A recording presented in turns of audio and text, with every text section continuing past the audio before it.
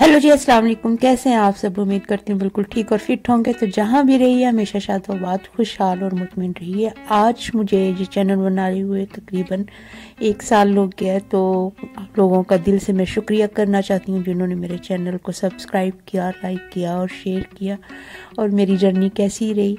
तो आज इस बारे में वीडियो और कुछ अनबॉक्सिंग करूँगी, जो चीज़ें मैंने दराज से ऑर्डर की थी।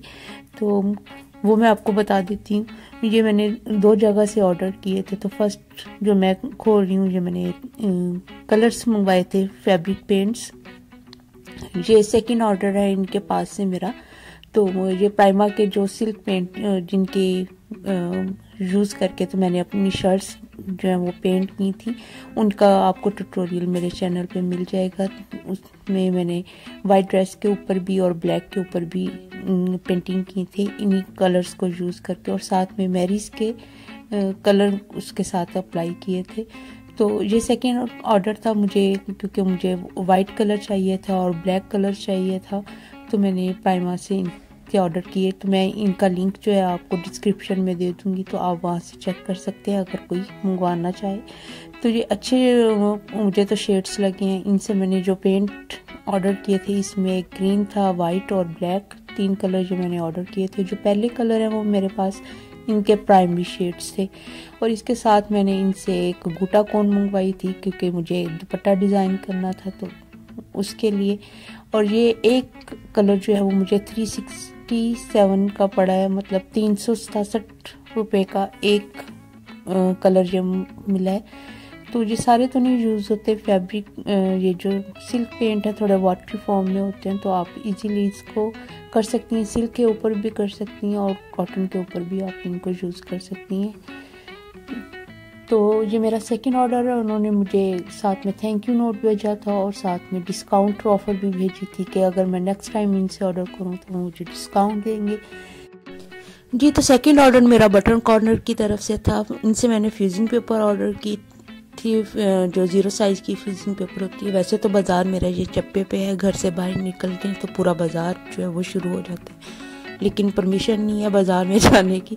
तो मोस्टली ज़्यादा फिर मैं ऑनलाइन ही चीज़ें मंगवाती हूँ। तो यहाँ पे मैंने फ्यूजिंग पेपर मंगवाई और वैसे भी ये ज़ीरो साइज़ की आम आपको मिलती नहीं है मार्केट से। जो मिलती है वो थिन तो होती है, लेकिन ज़ीरो साइज़ की नहीं होती। तो मुझे ब्लैक कलर में चाहिए थी तो बटर कॉर्नर वालों से मैंने ये ब्लैक में फ्यूजिंग पेपर मंगवाई और साथ में फिर मैंने वाइट भी मंगवा ली साथ ही। तो ये मुझे साठ रुपये गज़ के हिसाब से मिली है। तो मैंने तकरीबन सात से आठ गज़ ये मंगवाई थी और पाँच गज़ मैंने वाइट वाली मंगवाई थी, साठ रुपये के हिसाब से। और साथ में मैंने इसमें सोइंग रिपर मंगवाया और साथ में इसमें मैंने वो गैजेट्स का था, उसको ये सोइंग रिपर था, चौक थे। चौक तो खैर मुझे दो टूटे हुए मिले हैं और एक मुझे सही वाला मिला। तो आते हैं इसकी तरफ़ के जो मैंने चैनल जब स्टार्ट किया तो ज़ीरो सब्सक्राइबर था मेरे पास जब मैंने इसको स्टार्ट किया। और मुझे ये नहीं पता था कि थंबनेल कैसे बनाते हैं हैशटैग कैसे लगाते हैं डिस्क्रिप्शन कैसे लिखते हैं और कैसे उसको एडिट करते हैं। इवन के ये भी नहीं पता था कि वीडियो को शूट करने के लिए हमें कौन सा इसमें फॉर्मेट लेना चाहिए, यानी हमारा रेशो क्या होनी चाहिए स्क्रीन की।